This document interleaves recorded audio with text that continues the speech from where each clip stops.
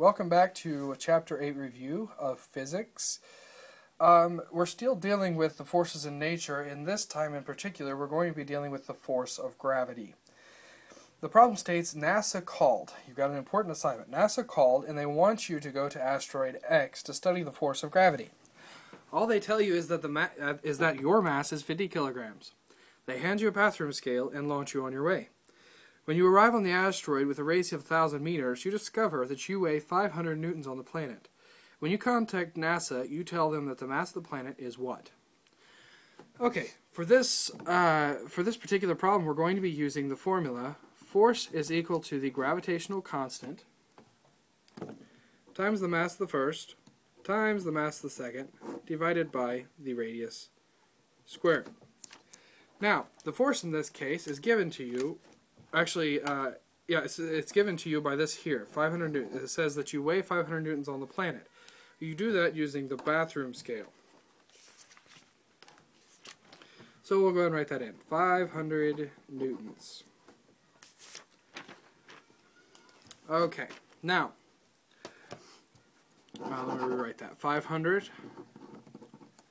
Now, the gravitational constant, which will also be given to you on, on your exam, I don't, I don't necessarily want you to memorize that number, is going to be 6.673 times 10 to the negative 11th. So this big G is equal to this here. This value is this right here. Okay, so so far we have 500, which is the force that's given in our problem, is equal to the gravitational constant, which is 6.673 times 10 to the negative 11th, times the mass of the first times the mass of the second divided by the radius squared. Okay, the way I want you to think of this is uh, uh, ma the mass of the first is going to be your mass. So let's write that in. The mass of the second is actually what we're going to be looking for. Uh, wrote, it's actually the mass of the second. There we go. That's going to be the mass of the asteroid. And the last thing that it gives you is that the radius of the planet is 1,000 meters. And, and you have to square the radius. Don't forget to square the radius. So if we begin to solve for the mass of the second, if we solve all this algebraically, we can say that 500 divided by 6.673 times 10 to the negative 11th divided by 50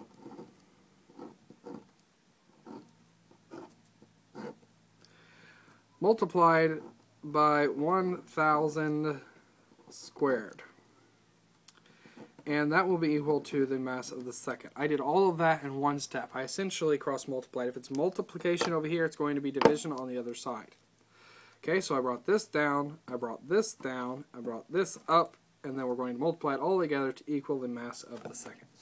So let's do that on our calculator. We should be able to do it all in one step.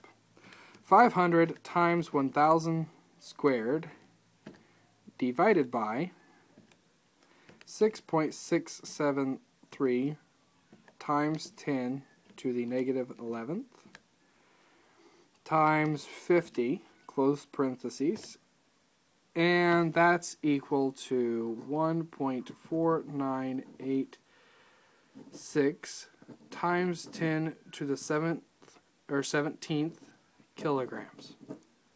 Now, don't be concerned whenever you get a very large mass for this. Obviously, if we have a large asteroid or a large planet, it's going to have a very large mass. So, this is the answer to our problem. Make sure to put your units in as always. And that concludes this problem.